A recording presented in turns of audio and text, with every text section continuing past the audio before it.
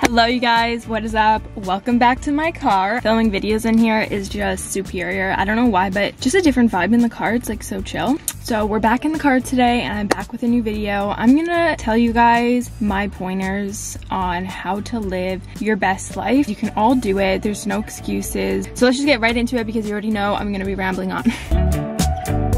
Okay, so the first tip that I have for you guys is listening to your emotions and listening to your intuition. Now, your emotions are, think of it as your guidelines. Like your emotions are your body's, brain's guidelines. You feel sad for a reason. You feel happy for reasons. Your emotions are there to guide you. They're your guiding system. And I recently learned this, and this is like a really cool thing to know. But basically, it's like when you're happy, that's your soul telling you that like this is meant for you. This is your path in life keep going, like keep following this path. Your emotions are there for a reason. They are there to guide you. And once you realize that, it's going to be a lot easier to see what you need to cut out of your life and what you should do more of in your life and keep in your life. If you're not feeling well and if you're feeling sad or if you fell into a depressive episode for a while, you have to realize that your body is telling you that for a reason. That means that you're out of alignment with your true purpose and what you're really supposed to be doing in your life. If you're not feeling so good, if you have not been feeling so good, reflect on that and realize what's been going on around you. Do you like what you're doing at the moment right now?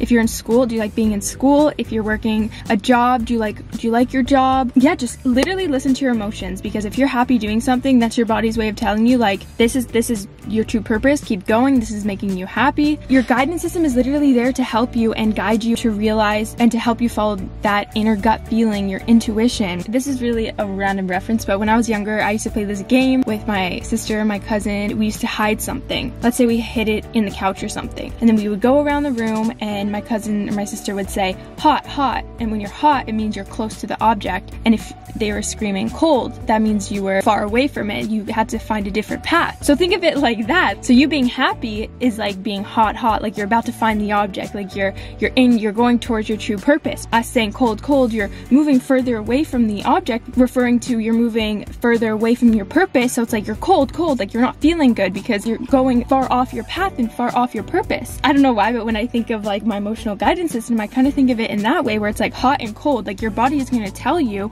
instead of screaming hot and cold, it's screaming happiness or sadness. And just think of it like that. Like let your emotions guide you. If you feel great doing something, that's your soul's or body's way of telling you that that path is meant for you. So really listening and being in tune with your body to what makes you feel good and what makes you not feel good is so, so, so important. Following your emotional guidance system is going to help you live your best life because it's going to lead you on the right path to what your intuition is truly telling you what your life purpose is. So my second tip for you guys is do things that make you feel alive and not just like, yeah, okay, I'm, I'm alive right now, like I'm not dead, but do things that make you feel alive. Whether that's jumping out of a plane, what makes you feel alive? Reflect on that because it's such an important question. What am I doing every single day that is making me feel alive? For me, going to watch a sunset and seeing the sky change colors and just witnessing that makes me feel alive. And it's also kind of the same feeling that I get going on a roller coaster, getting that adrenaline in me. That makes me feel so alive and happy. And just like little things like that, reflect on them and be like, what makes me feel alive? What am I doing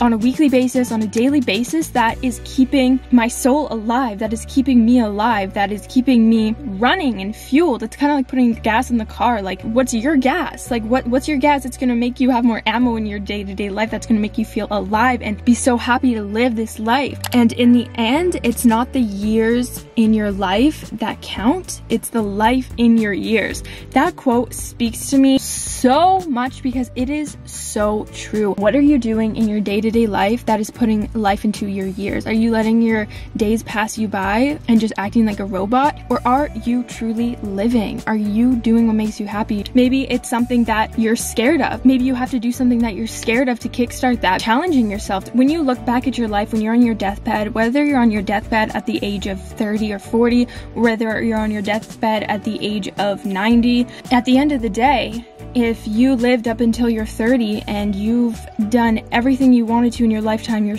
completely satisfied versus dying at 90 and you never did anything you wanted to do. You never lived your life fully. At that point, it's like, would you rather die at 30 and feeling so satisfied and happy with your life or dying at 90 and not feeling satisfied because you did nothing that you ever wanted to with your life? The next thing that I have for you guys is trusting your intuition, trusting the universe, not just following your intuition, but also trusting it. This is something that we don't get taught anywhere. We don't get taught this in school. Like it's not something that we really hear about often is like your intuition. I've just discovered the idea of an intuition. Like I've always said it as like, oh yeah, like my gut is telling me this, but I've never really thought about it deeper than that. Obviously, if your intuition is telling you to do something risky because of our societal programming and because of our subconscious thoughts that we have, it's obviously going to be scary to go outside of our comfort zone and to maybe follow and trust your intuition. To live your best life, you have to trust your intuition because by trusting your intuition, it's just to lead to greater and greater, greater things for you. Even if your intuition is telling you to make a big or risky change, do it. That's the key to living your best life, you guys. You just have to do it. Go for it and do it. Trust your intuition because at the end of the day, if you can't trust yourself, then you're not going to be able to trust anything. And obviously, following your intuition and making that change is going to make you scared. You just have to realize that if you don't do that and if you don't follow it, if you don't take that big leap of, leap of faith, you're always going to be stuck with the idea of what if I did that? Where would I be now? And it's like that feeling of regret. Is it better to play it safe for you and feel that feeling of regret for the rest of your life or that feeling of what if for the rest of your life? Or is it better to just follow it and trust it, go along with it so that you never have that feeling of what if? Even if it doesn't necessarily work out the way that you planned on it, at least you did it and you're never going to wonder what if again. You can die anytime, any day from anything. You don't know when you're going to die. You don't know how long you're going to live. Therefore, make it the best life that you can. Go for those risks. Go for those chances because you may not be here tomorrow. So the next piece of advice that I have for you guys is to be yourself no matter who you're around. Being yourself in front of different people. Being yourself no matter what or no matter what circumstance you're in. Speaking your mind, speaking your opinion, and having your own true beliefs that don't change based on who you're around. This is something that I recently actually changed about myself because when I was in high school, kind of every every different group of people that I would hang out with, I would slightly alter myself to fit in more with them. And at the end of the day, it was just kind of making me mentally exhausted because I would just be always caring about what they thought about me. And therefore, that would make me alter who I really am. And I wouldn't be able to truly ever speak my mind. And it's just so restricting. So, being yourself, you can never lose with being yourself. Unapologetically yourself. It's honestly way more mentally and physically exhausting to not be yourself and try and put up a false perception of yourself than just being yourself. And and being true to who you are. We are all unique and you have to realize that everybody is different. Nobody has like the exact same thoughts. We are all unique and we all have our unique morals, religions, beliefs, values. We all have unique traits for a reason. And that's because that's what makes us unique and that's what makes us special. And if you're conforming to whoever you're around and you're changing yourself for other people, then you're not going to be truly happy and you're not going to be living your best life because you're to almost be living a lie. You're just to be fake. Be true to who you are because at the end of the day,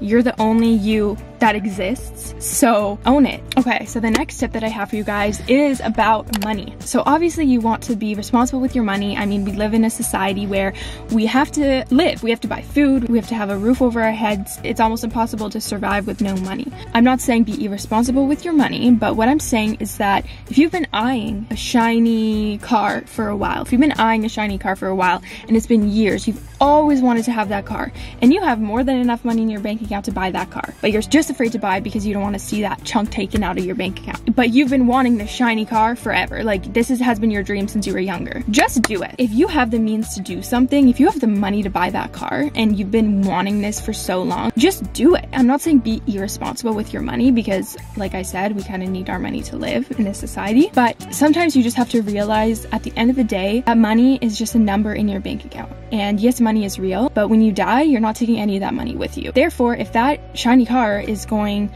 to fulfill one of your lifetime needs, then get it. Do it. Why not? The money will always find its way back to you. We're out here trying to live our best lives, not our most limiting lives. The next tip that I have for you guys on living your best life is expressing gratitude every day. You don't need to go and write down your gratitude. You don't need to like physically write it down. Like even just like waking up and realizing, wow, I am so fortunate to have this roof over my head. I'm so fortunate to have legs to walk, eyes to see see. And just like small things like that are gonna lead to a mentality of happiness and gratitude for everything else. Like it's gonna be like a huge snowball effect in your life because the more things that you're grateful for, the more things that the universe is going to bring into your life to be grateful for, the more blessings you're gonna receive. Try and find different things every day that you're grateful for, even if it's just one thing to be grateful for. If you wanna say it out loud, say it out loud. If you wanna write it down, write it down. Or if you just really wanna feel it and think it in your head, then do that. But overall, just expressing gratitude for your life and for having a body and being able to experience this earth, just being grateful for that is going to help you see beyond and find other things to be grateful for and help you live your best life. So the next tip that I have for you guys for living your best life is working on yourself. If you've had the mentality coming into this video that like I can never live my best life because A, B, and C, reflect on that and think, what can I do to better myself to change those things in my life? What can I do to better myself to wake up every day and be a happier person? Work on yourself, even if it's as small as doing something like writing down gratitude every day, praying,